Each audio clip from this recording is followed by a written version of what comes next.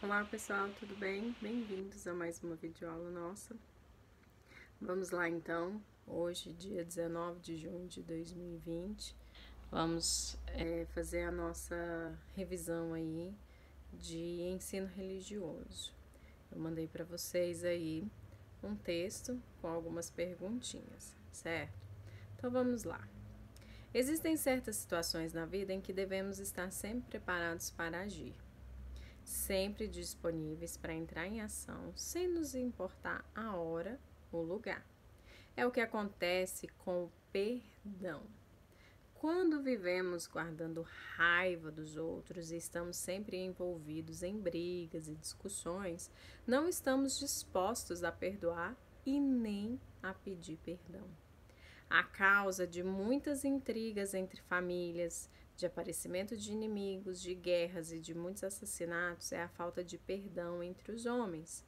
Você sabia que tem gente que, de tanto ficar magoado com alguém, adoece? A pessoa fica triste, triste, às vezes fica brigando à toa com os outros. Ou então afasta-se de todo mundo, fica sem amigos.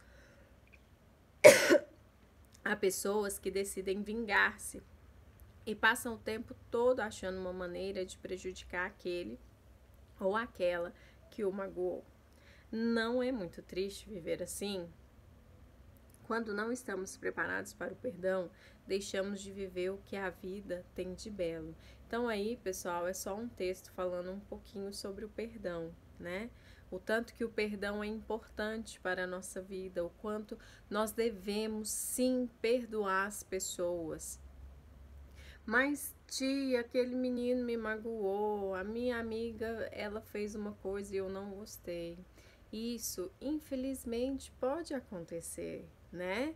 Muitas das vezes as pessoas podem nos magoar, as pessoas fazem uma coisa que a gente não está, não, não, não gosta, né? Uma brincadeirinha sem graça, alguma coisa assim. E aquilo ali traz uma mágoa. Mas nós temos que sempre, sempre pedir a Deus que a gente consiga perdoar aquela pessoa, que a gente consiga liberar o perdão. E você toma a decisão de perdoar.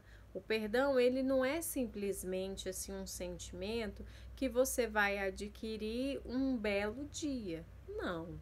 O perdão é você decidir na sua vida perdoar aquele que te magoou, aquela pessoa que te fez um mal. Então, a partir do momento que você libera, que você fala para Deus: Deus, eu quero perdoar.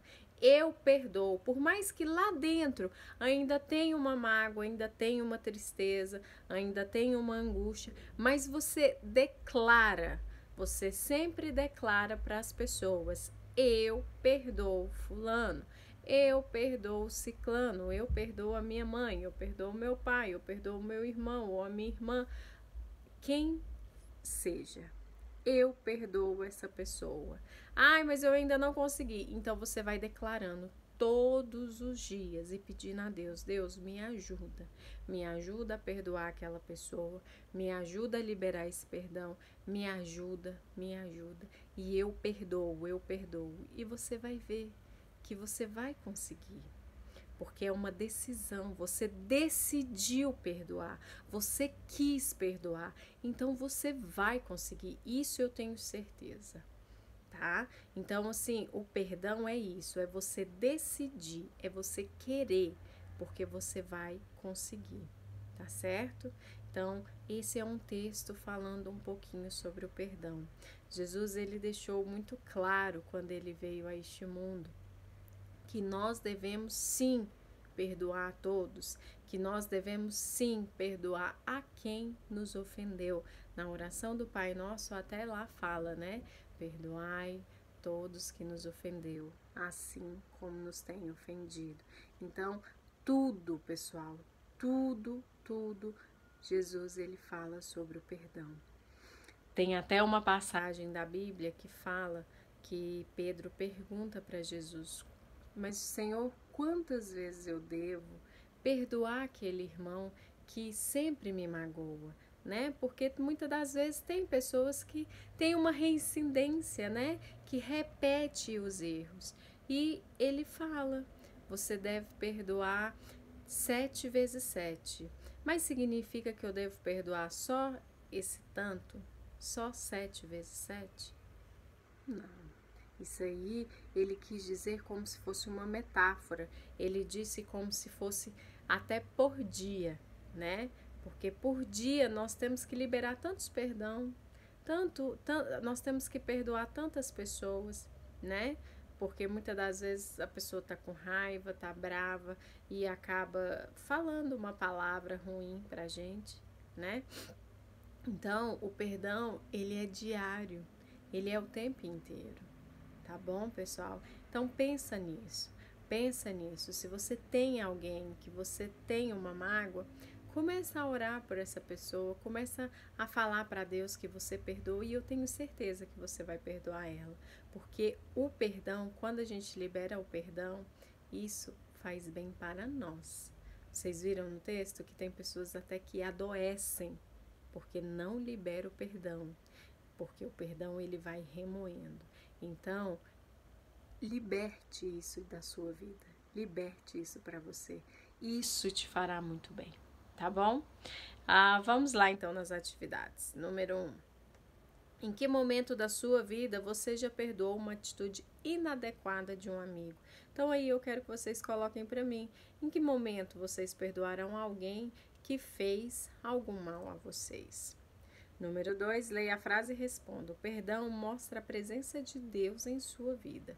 Explique o que você entendeu com a frase acima. Foi, é basicamente o que eu acabei de contar para vocês, né? O que, que vocês entendem sobre o perdão mostra a presença de Deus em sua vida. Porque a partir do momento que você libera o perdão, a partir do momento que você tira isso da sua vida, Deus ele se alegra demais. E é Ele quem te ajuda né, a liberar, porque por nós a gente fica remoendo aquilo ali, mas Deus, ele é tão maravilhoso que ele consegue nos ajudar com isso, certo? Número 3. Existem pessoas que sentem prazer em aumentar a discórdia entre os outros. Que recado você daria a essas pessoas?